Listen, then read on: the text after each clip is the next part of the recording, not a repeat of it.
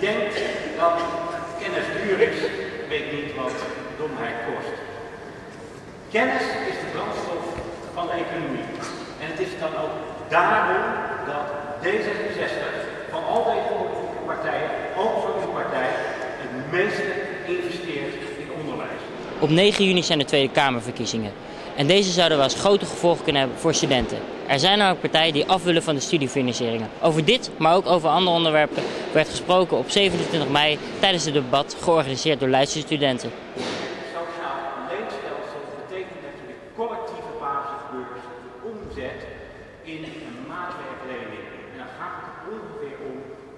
Dat van 12.000 euro kan lenen. En dat je dat, wanneer je voldaan, dat je dat 20 jaar tijd terugbetaalt. Inkomens mogen best iets meer betalen. En daar kunnen wij de onderwijs kosten. Iedereen heeft daar ook profijt van. Niet alleen de mensen die gestudeerd hebben.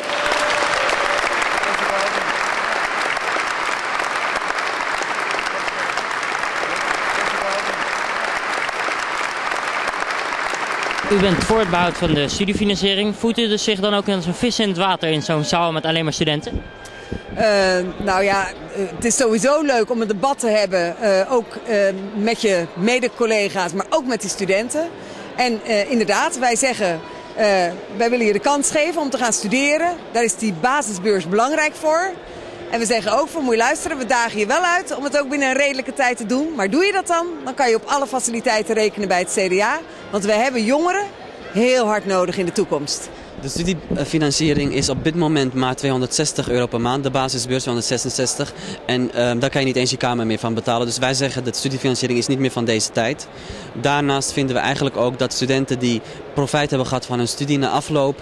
Uh, best die investering deels kunnen terugbetalen. Dat is belangrijk omdat je iedereen in, uh, van de bevolking de kans moet geven om te studeren. En of iemand dan rijke of arme ouders heeft, mag geen enkele factor van betekenis zijn. Je betaalt het als je het niet als je onder modaal verdient en dus niet kan terugbetalen. Is dat dan de overheid of zijn dat juist hogere inkomens? Nou ja, dan heb je dus het geld al gekregen toen je studeerde, maar dan hoef je het niet terug te betalen. En dat betekent dat de samenleving het voor die mensen blijft betalen. Als u verzekering krijgt dat uw punten over die sociale zekerheid worden toegepast in een nieuwe coalitie, of een nieuwe coalitie, bent u dan bereid uh, water bij de wijn te doen wat betreft de studiefinanciering? Luister joh, ik zit hier niet aan de coalitietafel en zeker niet met jou.